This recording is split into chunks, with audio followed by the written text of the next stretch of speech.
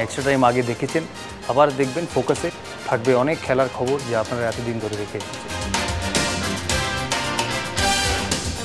Jadavpur Vidyapit achieved a unique feat in the under 15 CAB school cricket tournament. They bowled out Park Institute for just 9 runs in the railways ground in Shialda. Turjo Chaudhary of Jadavpur gave away 1 run and took 6 wickets in 4 overs. He practices in Devesh Chakraborty's camp in Noihati and the pace bowler also takes training from Satinder Singh. His school's cricket coach also calls him for practice whenever he gets time. But even after this great bowling figures, his coach is not happy. Find out why. Debesh sir খুব ভালো। মানে sir কিছুতেই খুশি হন না। Sir বললেন এটা কি করল এক রান আমি বললে গিয়ে স্যার বলবে যে এক রান কেন হলো? আর এক রান না হলেও ভালো হতো। His father Shubroto Chaudhary is unemployed for years now, but he is determined to continue his son's cricket.